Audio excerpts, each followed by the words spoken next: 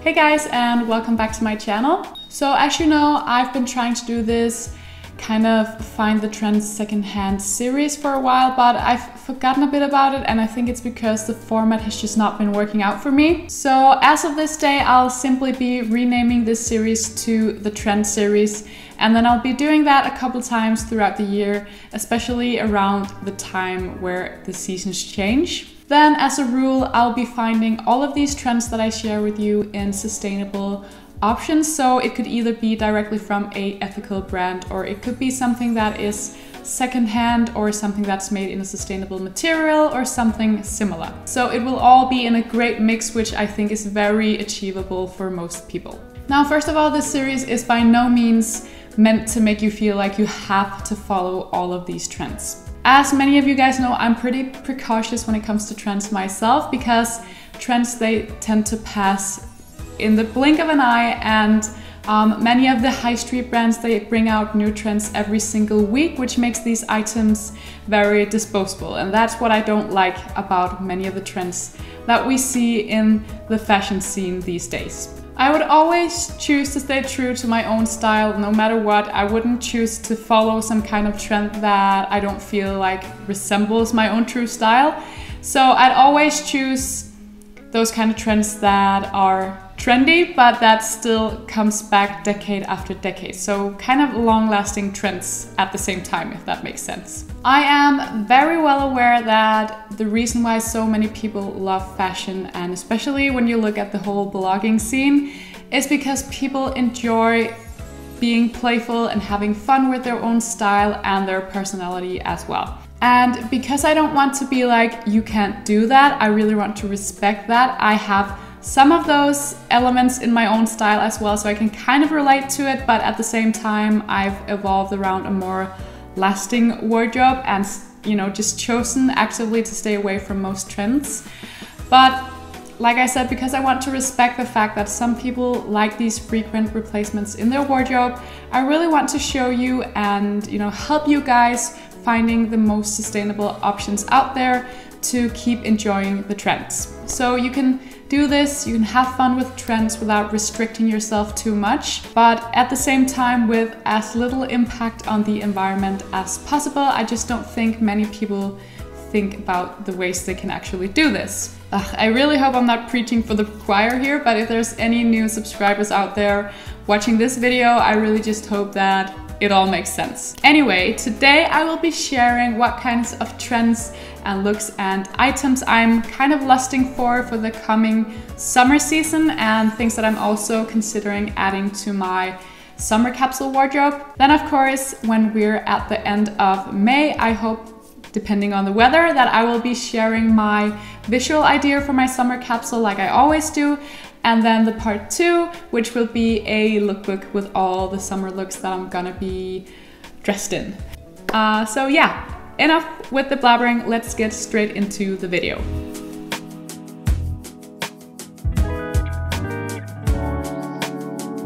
In general, what I'm lusting for this coming summer is kind of going back to basics. So I'm all about this very neutral color palette and mixing very basic items with something in natural materials and like I said in this very natural color palette. I feel like the neutral color palette is very suitable for the entire year actually and it's something that I that I've always loved but especially this summer I feel like kind of getting back to that point. So in a way we're talking one of those lasting trends right here because even though it seems to be all the rage this year with all these natural materials like linen and straw and things like that, it's something we see return every single summer almost. So I feel like this is kind of a trend that you shouldn't be too afraid of investing in because you'd probably still love it next year. So the first trend that I want to share with you is something that's been all the rage both last summer but especially this coming summer as well, which is the espadrilles. And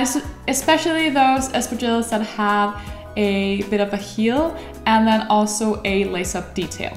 I don't know if I'd ever go there myself because I'm more of a flat shoe kind of girl. So I'm afraid that I'd only be reaching for these if I had some kind of special event to go to. I do have a couple of summer parties and weddings to go to, but I feel like I already have a bunch of shoes that I'd rather use.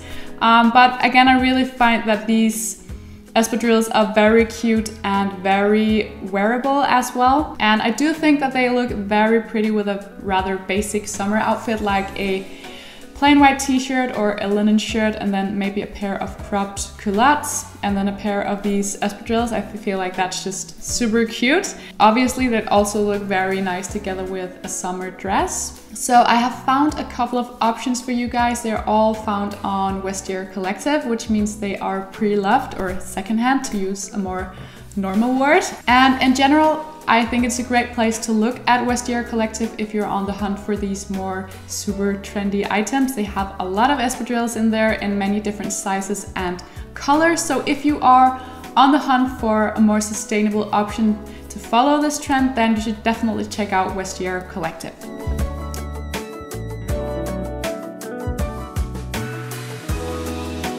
So moving on to the straw bag or the wicker bag.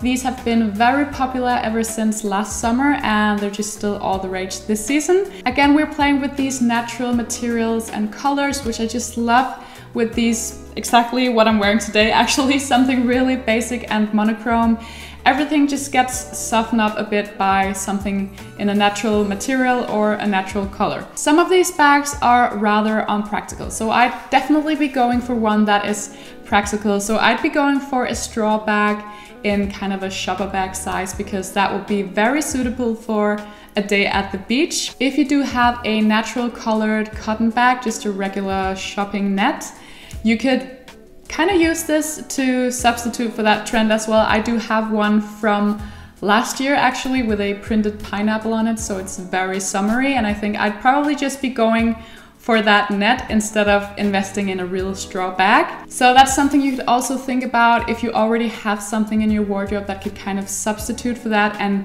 kind of give the same look so you don't have to actually go out and invest in a trend that you're not sure you'll be loving as much next year. Again, I found a couple of straw bags on Vestiaire Collective, but ASOS Marketplace is definitely also a great place to look, especially if you want something for a bit of a more affordable price.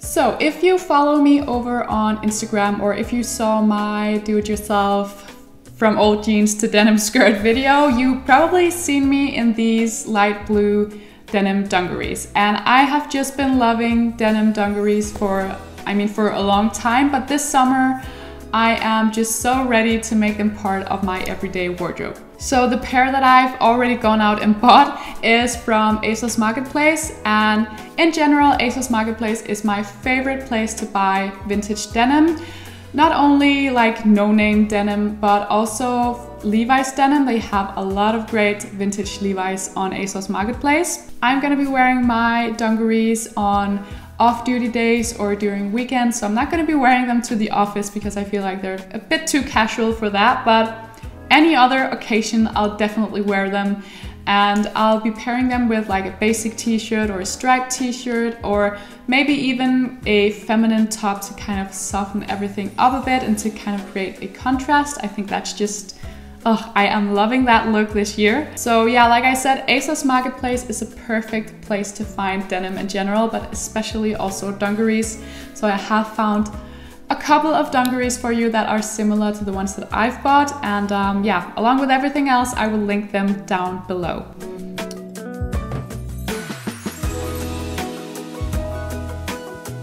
So moving on, linen is one of the most perfect materials to go for during summertime because linen is very breathable, it's very durable, and it's just very absorbent as well. So it's just perfect for those very hot summer days. So even though I feel like linen is just everywhere this season, I think it's safe to say that it's one of those more long lasting trends as well. It's not really a trend, I would even say. I think it's a very basic kind of material to go for each and every summer. So it is something that you can invest in and then use for years to come.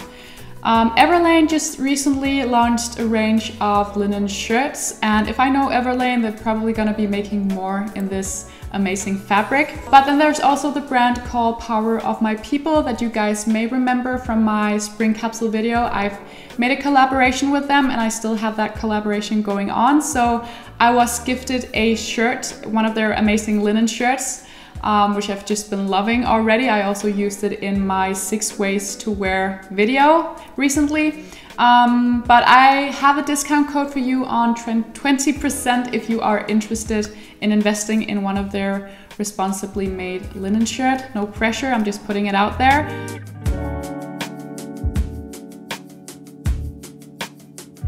So moving on to the last trend or maybe just an item that I'm really lusting for this coming summer season is the very feminine ruffle or crochet kind of tops. I love these very light cotton tops with very feminine details, like exactly crochet details or ruffles or something similar, especially with light wash denims or those vintage dungarees that I've already gone out and bought. I just think that tops like these are very French chic and you guys know that I'm all about that still.